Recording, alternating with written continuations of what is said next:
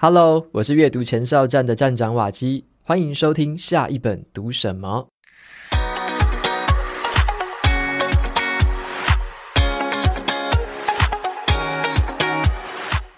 有一本书啊，我总共读了四次，三次的有声书跟一次的纸本书，而且这本书啊，我等了整整四年，我才终于等到了繁体中文版，适合来介绍给大家。那这也是我这辈子最爱的书之一。这本书呢，陪伴了我度过人生当中最艰难的时光，让我拥有很坚强的心智，也养成了很强大的心理韧性。那这本书呢，就是《我刀枪不入》。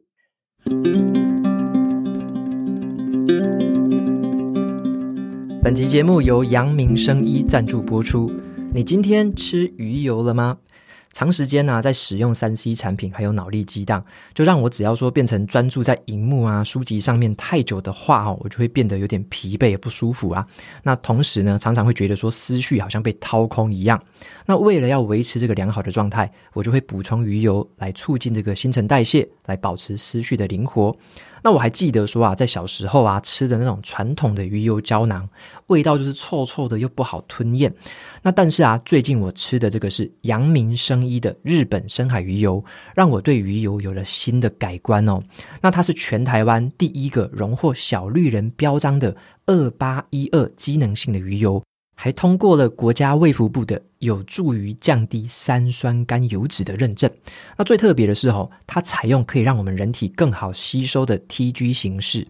那么鱼油 DHA 的成分呢，就是守护精量的很好的营养。建议呢，也可以搭配叶黄素来做使用。所以哦，很适合三 C 族群，还有学生族群都可以天天补充。那么鱼油的来源哦，也很重要。阳明生医他们选用的是全球前三大的鱼油制造商，是日本水产株式会社的原料，还被日本奥运选手指定使用。那这款鱼油呢？他们经过四国专利技术的肯定，还有很多篇临床实验的支持，而且清澈无杂质，气味极低，软胶囊的设计呢更方便吞咽。无论你是哪一个年龄层，都可以放心使用。希望大家呢能一起来尝试看看哦。消费只要满八八八，结账输入专属折扣码 W A K I 就可以享有九折优惠。有兴趣的朋友，欢迎前往节目资讯栏参考看看。这本书啊，它是一本自传，作者是这个美国媒体称为。地表最强男人的大卫·戈金斯叫做 David Goggins，那他呢是一个美国人呐，然后他是美国黑人哦。小时候呢，他遭到家暴，然后在家里啊是非常的贫穷的状态，而且他还因为他的忧郁症暴饮暴食，变成了一个大胖子。他走到哪里哦都被人家歧视，他似乎啊这辈子就注定当一个卤蛇了。可是呢。他就翻转了自己的念头，拼死拼活的成为了破美军纪录的超级精英士兵，还成为了世界顶尖的耐力赛的运动员。他达成了很多很夸张的成就哦。书本里面就有提到说，他天生怕水，而且他的腿还断过，他却成为了美军历史上唯一一位哦，通过了海军的海豹突击队、陆军的游击兵。空军的战术管制组三项精英训练的人，他还患有先天性的这种心脏疾病，他还通过这个心脏的手术去调整之后，医生就劝他说：“你不要再做激烈运动了。”可是啊，他却在这个铁人三项、然后二水超级马拉松等多项的这种世界级的耐力运动赛事，他夺得了惊人的成绩。他也为这个军方的基金会募资了超过两百万美元的资金。那他也是这个引体向上的这个金氏世界纪录的保持人哦。一般人做这个拉一下都很困难的这个引体向上，他在十七个小时之内竟然完成了四千零三十下哦，这个数字是非常夸张的。他就活出了一个很强大的心理韧性，跟突破他身体极限的一个传奇故事。那这本书里面呢，他除了详细的记录这些故事之外，更重要的是，他如何在他极端痛苦的这个困境当中，找到这种心灵的力量，还有勇往直前的这个过程哦。那跟这本书比起来啊，我就会觉得，诶，其他的心灵励志书籍就好像是那种就是半加加酒的小打小闹哦。所以呢，我觉得这本书啊，会是我心目中心灵励志书籍的第一名。那要聊一下这个故事哦，就是为什么我会这么爱这本书哦。因为我第一次接触在这本书的时候啊，是在看那个英文版本的，我听的是英文的有声书版本，Can't Hurt Me。那那个英文的书名的意思就是无法伤害我。听这个英文书名好像有点俗气哈，可是呢，它却蕴含着很巨大的力量。那这本书的英文书的这个有声版，它呈现方式真的是超级特别的。它是由另外一位朗读者来朗读这个作者的书。然后呢，这个朗读者每读完一个章节，就会跟这个作者 Goggins 跟他一对一用这种 podcast 访谈的方式，他们就聊聊说这个章节发生的那些事情。然后在这个一对一的访谈里面呢，你就会听到作者他有聊一些他没有写进去书本里面的幕后花絮。那这本有声书呢，就结合了有声书跟 podcast 的访谈，就是有点像二合一的形式哈，让当时听到这个有声书的我印象非常的深刻。那我在听这本有声书的时候啊，也刚好啦，是我在南科台积电工作的时候。当时的我每个礼拜一清晨的五点，我就会从新竹开车去台南，然后呢，每个礼拜五的晚上又从台南开车回新竹，这样子的两地通勤。那我就是在开车的这个时间呢，去听这本有声书，听了三次。那为什么我会一直重复的去听这本有声书呢？跟我当时哈人生故事有很大的关系。因为在当时在南科啊，还有竹科两地通勤的那个时间呢，我同时就是在下班的时间经营部落格，然后就是录制 podcast。那每天呢，我除了要面对在工作上面排山倒海的事情之外，我还要在下班的时间去搞定那个自媒体的经营，还有很多很多的事情，还要抽出一些时间去阅读，还有撰写读书心得。那这一路上呢，就遇到很多压力嘛，然后你会听到很多外界的杂音，都很可能哦让当时的我就停止斜杠了。很多的阻碍很可能让我就当时停下来，可是呢，当时这本有声书的出现呢，就正好是在我最需要的时候拯救了我。这本书呢，让我知道说，即使在当下的环境再怎么样的艰难，只要我们哦不要给自己设限，就有突破的机会。然后这本书呢，也让我知道说，要怎么样建立强大的心理韧性，然后面对生活当中的酸言酸语，你就会不为所动。那这本书也让我知道心灵力量的强大潜力。凡是那一些杀不死我们的，都只是淤青而已。所以呢，无论我们在生活啊，在工作上面遇到什么样的挫折或挑战，我们只要在开车的时候，我就听这本书啊，我就会觉得诶迎刃而解哦，一切都可以解决。那么帮助我度过那个斜杠人生的那段时间的时候啊，书中有一句话哈，我就会重复的在心里面对自己一直 OS。这句话就是：动机只是狗屁。动机总是来来去去的，但是当你心中拥有一个驱动力的时候，前方的一切阻碍都会被你粉碎。那这个驱动力呢，对我当时的我来说，就是我想要活出一个很崭新的自主人生。那为了达成这个目的，其他的一切困难跟挑战，都只是这个旅途上面的必经之路而已。那如果你是听得懂英文的人哦，我强力的推荐你一定要听这本书的英文有声书版本。你会听到最原汁原味的那个哥金斯语言，就是作者他的语言呐，就是充满了限制级的英文脏话，N D F K 就是最脏的那个脏话，而不是这个中文书哦，就是有点润饰之后比较像普遍级的版本哦。那么以下呢，就跟大家来分享一下书里面带给我的三个启发。第一个启发是。移除我们自己设下的限制，因为作者他发现啊，他在年轻的时候，他给自己设下了太多的限制了。他以为说自己一辈子就只能活得像个乳蛇一样，所以呢，他年轻的时候不敢做太多的尝试。直到他后来啊，开始从军，开始去锻炼体能，甚至他报名了海豹突击队的这个地狱州，他才开始体悟到一个全新的道理。他在书里面呢，就把这个道理叫做百分之四十的法则，就是四十趴法则。它指的是呢，我们人呢，在到达自己认为的极限的时候，其实通常都只有发挥了自己百分之四十的潜能而已。就很像我们给自己的内心啊设下了一个调速器，我们限制了自己的速度。他说：“我们人的身体呀，看起来就像是一部改装的车辆，表面上看起来可能每个人不太一样，可是，在我们内心深处，我们都有巨大的潜力。可是，同时呢，也有一个正在阻碍着我们达到这个速限极速的这个调速器。哦，就是在汽车里面呢，这个调速器会做什么事情？它会限制燃料跟空气的流量，以免这个引擎啊烧得太热。那这一个就是给性能带上的一些限制嘛，这是一个硬体的限制啊。那这个调速器，如果你把它移除掉的话哦，他就说，哎，你的车子就可以像火箭一样冲破这个时速两百公里。那在书里面呢，他就是用这个观念，每一次当他在这个耐力赛遇到瓶颈的时候，他就会告诉自己一句话：现在的我只是百分之四十的程度而已，我还有另外百分之六十的力量可以发挥。所以呢，他就会把这个调速器给移除掉，他就超越了当下的痛苦跟折磨，他在身体跟精神上就可以取得更多的进展跟成就。那这种思考的哲学呢，也持续的影响着他的人生。他就强调说啊，人生就是一场大型的心理游戏，我们唯一要对抗的人就是你自己。要坚持这个过程，很快的，你就会发现，你原本以为不可能做到的那些事情，会成为你人生当中天天都在做的事情。我们要移除掉自己给自己设下的限制，在人生这场心理游戏里面，成为一个掌控自己心理状态的主人。那么这本书给我的第二个启发叫做：心灵力量是可以磨练出来的。如果我们想要建立一个很强大的心灵力量，书本里面就有提到一个观念，叫做。长出心智的茧皮，英文叫做 callus your mind，就很像是在运动的时候啦，我们的手或脚会长茧一样，这个茧皮会越来越厚，我们就比较不怕疼痛，可以做出更多的动作。那透过体能的训练，就可以让我们掌握这个关键的方法，因为在我们锻炼自己的体能的时候，我们的注意力会更集中。然后呢，对于那个压力跟疼痛的反应，就会变得很及时，是可以衡量的。你会感受到这些痛楚，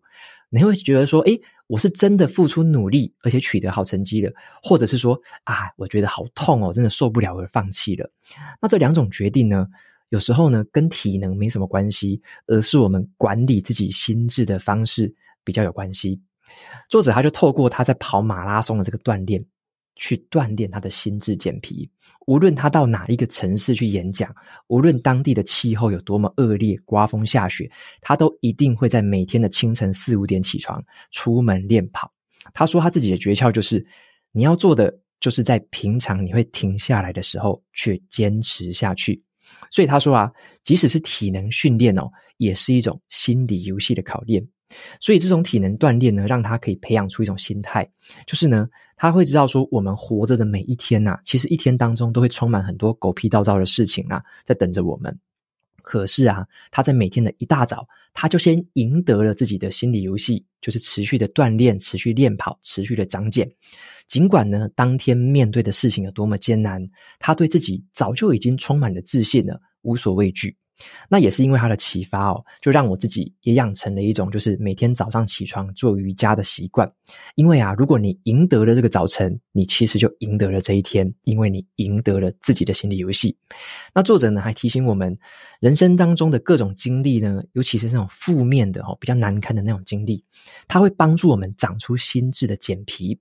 可是这个茧皮要沿着什么方向增生长的话，这要取决于你自己哦。如果你在成年之后选择将自己视为这个环境之下的受害者的话，你用受害者心态的生活的话，这个茧皮就会变成一种怨恨的茧皮，让你不敢去接触陌生环境。所以呢，他建议我们要摆脱受害者的心态，因为啊，受害者的心态只会带来怨恨的心。面对外来的困难，我们要找出我们恐惧的地方，我们要磨练心智，让它长茧，厚实如装甲，让自己。无所畏惧，所以呢，我们不是受害者哦，而是我们自己生命命运的掌控者。我们要活出怎么样的人生，就要看我们克服过哪些障碍。那他在书里面就讲出一句话，他说：“我就是我自己克服的所有障碍的总和。”好，这句话我也非常的喜欢，我就把它特别做了笔记，摘录下来。那么第三个重点呢，跟大家分享的是建立心理韧性的两面性。什么意思呢？书里面就一直在讲心理韧性这个关键字，就是 mental toughness。他说这件事情很重要，无论他面对多么艰难和恶劣的外界挑战，他都可以调整自己内心的方向，勇往直前，绝不退缩。他体验过那种地狱般的环境，接受过最恶魔般的对待，可是呢，他总是选择他可以武装起自己的内心，跟那些外在的挑战面对面，一较高下。那从他的故事里面，还有我自己的个人经验当中啦，我也渐渐体悟到一件事情，就是心理韧性的真正意思哦。我们拥有心理韧性。并不是因为，我们只知道那些正面的东西啊，或者是好棒棒的东西，也不是因为我们只想要接触世界上最善良的好的那一面而已哦。完全相反哦，心理韧性不是说，哎，你只能就是走正面正向的方向，你只知道那些东西的话还不够。我们可以拥有心理韧性，是因为我们知道最恶毒的嘴脸是长什么样子，我们知道最丑陋的事情可能会怎么样发展，我们知道。不好的那些东西，我们知道另外一面的东西是什么。就像是很多人啊会问说，做自媒体的人一个问题，这也是我很多时候会被读者问到的。他说：“你要如何看待那一些酸言酸语的留言？难道你不会心里受伤吗？”我的经验是这样子哈，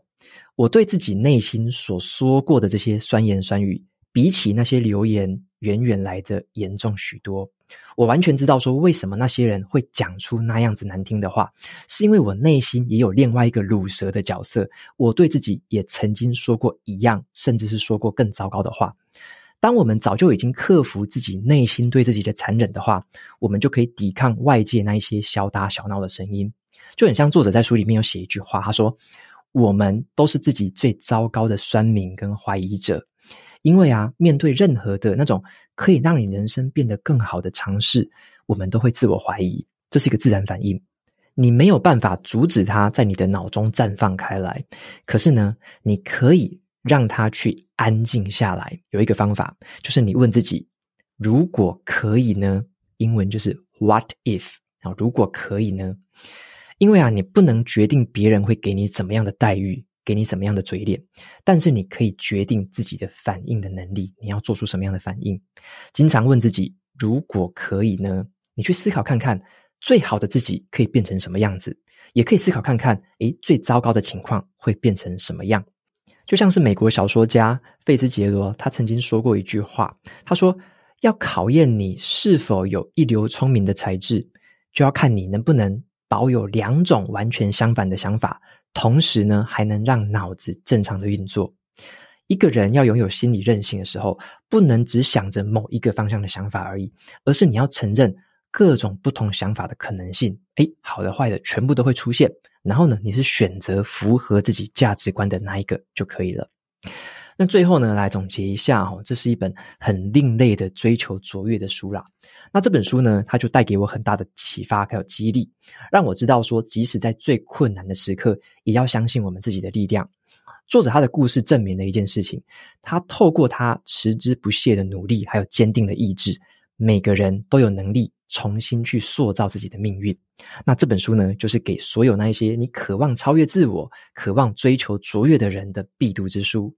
不过哈，比较客观来看啦，我认为呢，这本书提倡的精神。不一定适合所有人。好，什么意思呢？我来补充一下。因为啊，我相信有些读者在看完这本书之后，会觉得说，这个作者他根本是个自虐狂吧？你看他好几次就会把自己的身体折磨跟逼到极限，好几次跟死神擦肩而过，然后去住院什么的。他完成了一个里程碑之后，他完全不会庆祝哦，而是他会继续挑战下一个更困难的事情。他有某一种程度的执着。很有可能哦，是因为小时候的过度自卑而导致出的一种非常极端的追求卓越。所以啊，如果你觉得诶人生就是要平安健康顺顺的过就好了，那这本书哦，你可能读一读会觉得有点反感哦，因为比较极端一点。但是啊，如果你需要有一个教练在你身边，哈，就是说一个异常执着的这个教练在你身边，用大量的脏话跟不留情的言语去鞭策你，教你怎么样玩好人生这场游戏的话，这本书就非常适合你。就很像作者他在书里面写的，我们每个人都有潜力成为更了不起的人。那这本书呢，会帮你释放所有的潜力。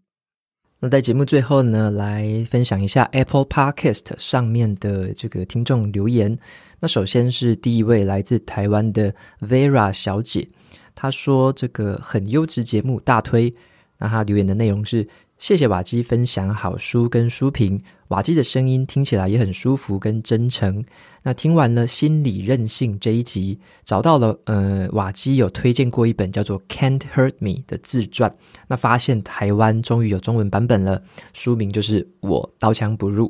好，那好想要听瓦基分享一下这本书，让你听了这个三遍的这本书。OK，那其实我觉得留言也蛮巧的啦，也是因为这本书就刚好就是今天跟大家介绍的这本书《我刀枪不入》，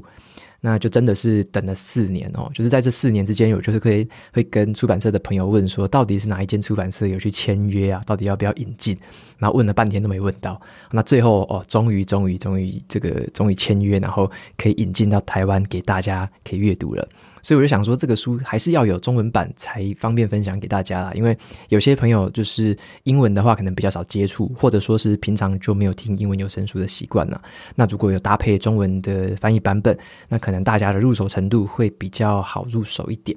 那英文版本我还是很推荐呐，就是这本书的英文版本。就像我在今天的说书提到的，如果你能够听英文的，你听得懂英文的，真的要听听看英文版本，真的是非常非常的直接哦。他讲话就是很草根呐，就是因为他是在那一种很极端的环境之下出来的嘛。就是家庭受暴啊，然后家庭很贫，就是很贫穷啊，然后爸爸对他非常的残忍啊之类的。反正你就看到说他小时候那个经历真的是很像活在地狱一样。可是后来呢，他就怎么样的去突破自己，然后去成为一个不同的人。所以呢，我也在这边跟大家就是简单闲聊一下。当时我在开车的时候啊，就是我在新竹开到台南，台南又开回新竹的时候。就是我偶尔就会，反正我就是把它放着，就一段一段的听啊。有时候想到就听个歌，有时候想到就听一下这本书，就有点像是说它是一种精神粮食。然后每一次哦，只要说诶，我只要想说诶，工作上面有什么不顺啊，或者说自媒体经营上面有什么不顺，有时候会有点想要放弃，或者说想要偷懒、想要拖延之类的时候，就会想说好吧，那我就就再听一下这本书里面，然后就继续往下听。然后这个有声书的特色就是说，它除了是书本里面的内容之外，因为每一段每一个章节之后都有一个一对一的访谈嘛，就是他跟有声书的朗读者会一对一的访谈。那在这个访谈里面，他们就会就是用更轻快的，或者说就是更轻松的这个方式，再去分享说：“哎呀，刚刚那一章里面说的是怎么样？哦，那刚刚那一章里面说的这个背后的故事是什么？当时我在想什么？”他就会再去补充一下书里面写的东西，就是用他这个受访谈的方式去回答一些这个朗读者的问题，就觉得说很好玩，就是你边听一本有声书，又可以边听 podcast。那这本书的作者就是，反正他人就这样，他就脏话狂飙，就是他每讲几个字里面就会夹杂几个脏话哦。所以如果你是听英文版，或者说你看中文书的话，你会看到很多像是什么“该死的”啊，什么什么“混球”啊，什么“狗屁”之类的，你会看到很多这种用语。中文听起来好像他就会，因为中文书他有稍微认识过了，否则英文的话，他就是直接就是用。